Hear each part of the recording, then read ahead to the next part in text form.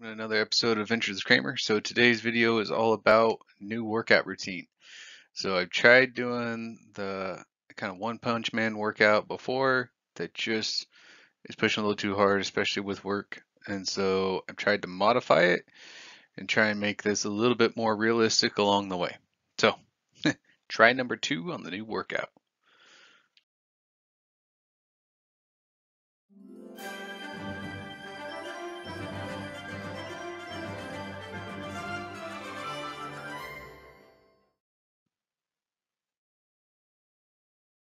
So one thing to get started with is just where am I at right now? Um, so I just weighed in this morning. Um, in my birthday suit, I was at 240.5 pounds. I have gained some weight because of Thanksgiving there. And from there, to try and do more than 25 knee push-ups, my arms really start to burn. To do more than 30 sit-ups in a row, my abs really start to kind of burn, definitely along like the hip kind of flexors too. Um, to do more than 50 squats, that just really starts to hurt a lot more. I definitely have a lot more lower body strength than I do upper. Um, regular pull-ups, I can barely do like two or three, um, and that's even using a like that like modified band, basically like a giant rubber band to be able to help pull myself up some. Um, to do like 12 or a little bit more um, on the modified incline pull-ups, that's really pushing it on the arms too. So and then eight minute miles that's that's pushing hard. Like i i definitely need a break after doing that. So i know it's not as fast as other people or as much but this is where i'm starting with and i'm hoping to kind of keep working from there. I have some goals. Um, i have set two different types of goals for me a short-term one that's in 30 days and a long-term one that are 60 days. I'm going to have some micro goals in between kind of more like on a weekly basis, but that's just kind of more for myself. So in 30 days, I hope to lose 10 pounds. Um, so again, my goal is to try and go from like 240 all the way down to 230. I pretty much want to try and eat the same. I don't want to go too crazy right off the bat. I've tried doing that before, and that just uh, food gets boring. And so I do want to try working to get a little bit healthier, get some more veggies and stuff worked in. Um, who knows? Maybe I'll do a, a veggie pizza here coming up soon and then still use the pre-workout kind of mixture and I'll talk about that a little bit later in the video.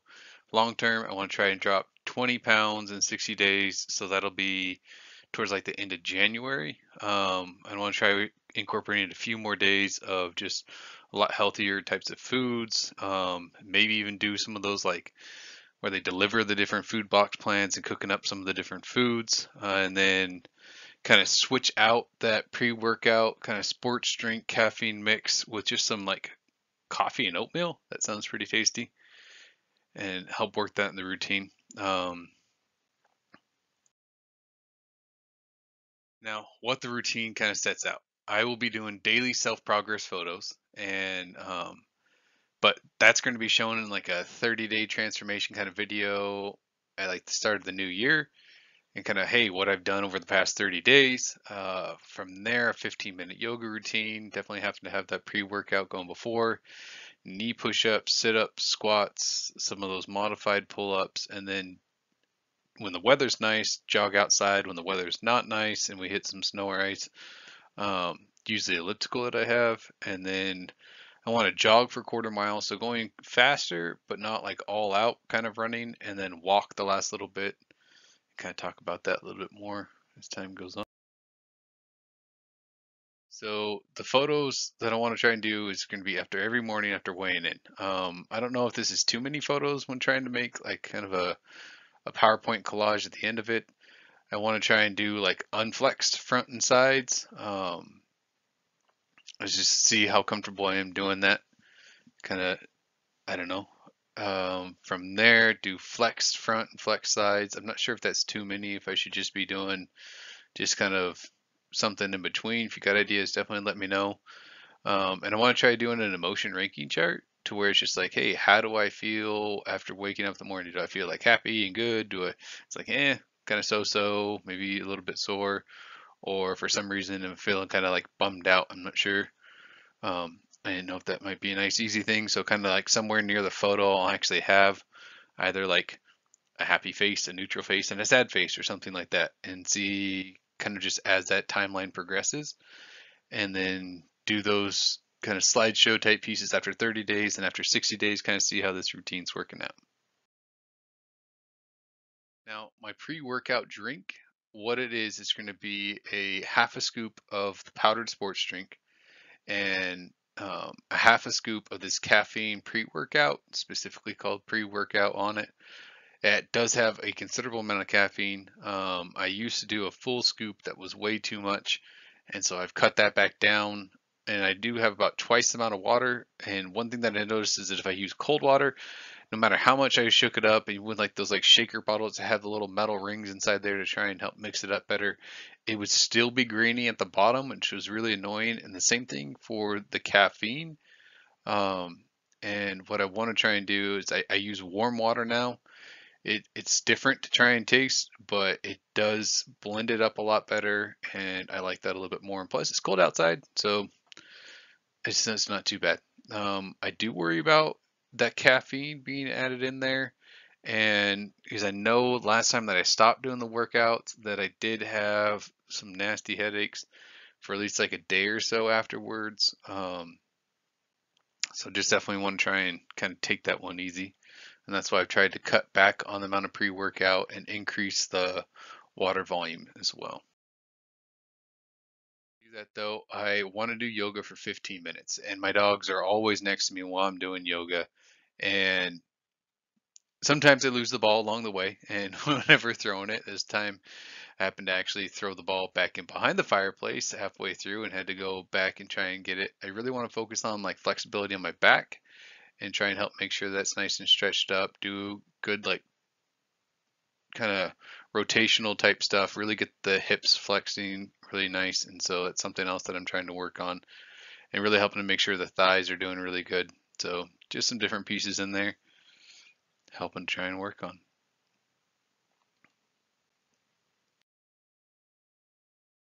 Next is the knee push-ups. Um, for all this stuff, I'm doing five sets, 20 reps in each set. Well, for the main stuff, I'm trying to work on having a nice flat back, so not dipping or arching or like sticking my butt up in the air. Um, I think that'll be just something good that I'm trying to practice. I'm getting better at it. It's just weird to not. It's weird to know because you can't see it on my own, like kind of self as I'm going, uh, without going back and rewatching videos. So I do like that how my form has gotten better, and again, just trying to keep working on that.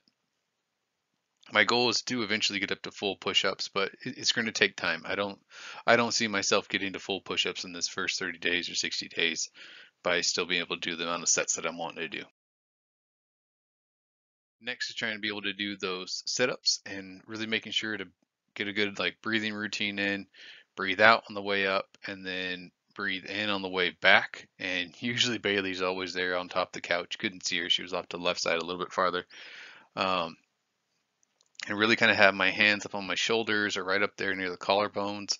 One thing I've been liking to do is kind of like looping my pinky finger around the sleeve of the shirt and my thumb around the collar, kind of looping up inside there. But that's been working pretty good for me. Next, I really want to try and keep working on squats. Squats are one of my like easiest types of routines to be able to help keep doing. I do think I'll need to modify and add in some maybe some extra weights with this. I don't know if necessarily doing more reps will be any better, but maybe just try and make them a little bit more challenging. I have some different like one gallon jugs of water kind of setting off the side. And so I think sometimes using those might be able to help out just to be able to make it a little bit more dynamic. One thing that I, I have read okay. in different videos. So to try and help out, because you can't do regular pull-ups yet, I'm doing from what I saw in a video where they're like incline pull-ups. So you kind of lay back at like a 45 to like an even like lower down 30 degree angle. And then you pull up from a bar from there. And so I do already have a pull up kind of like, well, you'll see it in the video. Um, but I can adjust it down for whenever doing like normal kind of like weights and being able to lift up from there. But I want to be able to try and pull from there. I happen to have an old bar and so I'm just gonna try and clean it up some and then cut it to, it fits in length like in between the two sides nice and easy. And just kind of go from there. I'm gonna clean it up just so that it's easier and my hands don't come out super dirty because it's old and it's rusty. So you'll see. Ready for the time lapse.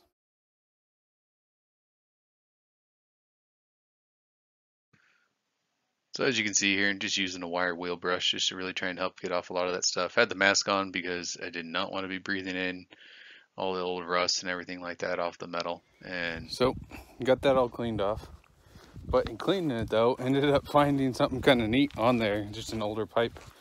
Uh, it actually says kind of embossed on the side and it's gonna be super hard to be able to see, but it's moving across there. There you go, can kind of see it. It says National USA. so I was planning on doing something different with it. And I wanted to paint the whole thing orange just because I really like orange, but I think after I cut it to length, um, I might end up trying to keep it clear.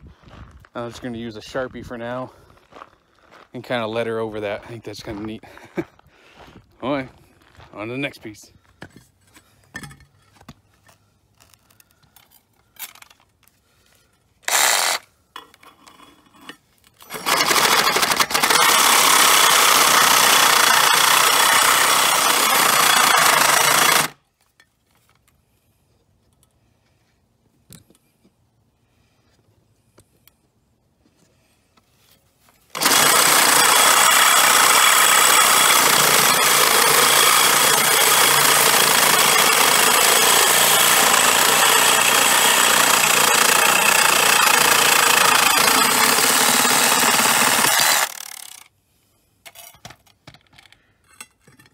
So currently, when I touch the pipe, my hands get super dirty.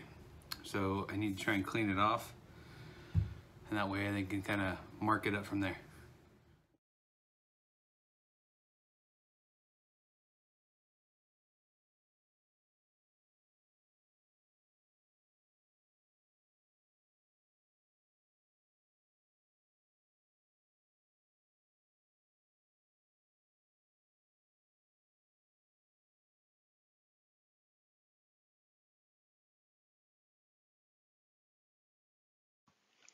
So I was super happy with how that turned out. Definitely nice and clean and my hands don't get super dirty after grabbing the pipe. So now we have the modified pull-ups and these are ones that I found some, some different videos online. I just kind of have my feet nice and flat on the ground, kind of sitting down. I want to do more of an incline, but it kind of makes the whole little setup rock back and forth some, so I'm trying to pull closer to vertical as I can. Um, it works. I can definitely feel it. I want to try and this is one thing that was missing in some of this kind of workout routine is having something more doing like my upper back and more focused on kind pulling up on the arms. So I'm still going to try and do the five sets, except for I'm cutting it down to only 10 reps in each set instead of the 20. My arms just currently cannot handle that and kind of just see how it builds up from there. Up last. If it's nice outside, I'm gonna just jog down for a quarter mile. Um, this just happens to be like the longest straight stretch in the area where normally I go that um, you can actually sit and see and then walk back that quarter mile. There's definitely, it's longer, but this is just kind of where it was at for showing. Uh, from there though, if I'm inside, I want to try and do the quarter mile with a little bit of resistance and I can adjust the incline a little bit, trying to go six, seven miles an hour. So kind of push a little hard and then walk into where it's kind of flatten it out, drop the resistance down some and do a quarter mile. So make it kind of a little bit easier in between there. I'm thinking that the extra walking really helps kind of keep the blood flowing, taking time and just help get any type of like lactic acid that's starting to build up inside the muscles. I don't want to push it too hard. I definitely want to get better, but I don't want to go to the point where I'm like injuring myself or hurting myself by going too hardcore on this. Now, some things I've been thinking, how can I help stay motivated? I want to share progress on social media, find some motivational quotes, maybe put them up on little like sticky notes and like post them up on workout area, um, set some mini goals, maybe some type of little like rewards for helping to do that try and find somebody else to be able to do virtual morning workouts with. So it's not just like myself that kind of gets hard when it's just like, oh, hey, I'm doing it. But sometimes when there's somebody else that really helps out a lot. Um, having cheat days. And so I'm thinking maybe like one of the days in the week, maybe I'm playing some video games, doing some like VR, playing Beat Saber. That is a really fun game. And if you get going a lot, I mean, I'll have to like pause and clean off the lenses because they start fogging up from starting to sweat. Uh, other different rewards could be just like foods or treats, or maybe it's being able to go do like a, if I did a good week, a pizza review, which is really fun. Um, check in with others on their progress. And that can help me stay motivated by them continuing to work hard. And then I want to just feel better and eat healthier. I mean, that's just something I think that's it's good to be able to do. Maybe there's some fun different exercise apps if I get kind of bored. I've know I, I know I've done some of the different ones like the Zombies Run or um, I've seen another app where you create like a a virtual character and it's like a role playing type game and like you set and level up your character based upon your different exercise routines. And then if you have other different ideas out there love to sit and hear them post them in the comments down below. That'd be awesome.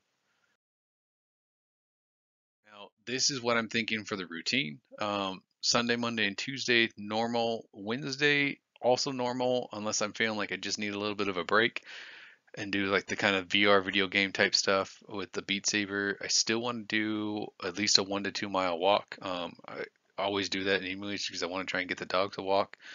Um, if it starts getting snow outside, then that's just going to be something else I'm going to have to try and work out. Uh, maybe one of the days I end up swapping out this workout and I just do like some snowshoeing or something. Um, Thursday, Friday, again, normal. But one thing that I want to add in that I didn't have the last time I tried doing this, I think that's why I pushed it just too hard and it just started to hurt, is I want a full day relax and recover. Saturday is normally my relax and recover day of just, that's what I do. I, I take that time to be able to help set that aside. And I'm not sure. I'm debating on whether or not to do some fasting involved in there. Seen a lot of different stuff online, uh, also different personal reasons involved in that, and still be able to try and do some of the walks, uh, have some tea or like different water, things like that. Um, but again, doing those five sets of the 20 knee push-ups, the 20 sit-ups, 20 squats, the 10 pull-ups, and about the half mile jog or walk, whether it's outside or um, on the elliptical, depending if the weather's bad. Thank you for watching. Sure appreciate that. If you like this, please hit the like button. Um, subscribe if you haven't. Hit the bell notification if you like watching a bunch of different random stuff. Comment down below. And peace, everybody.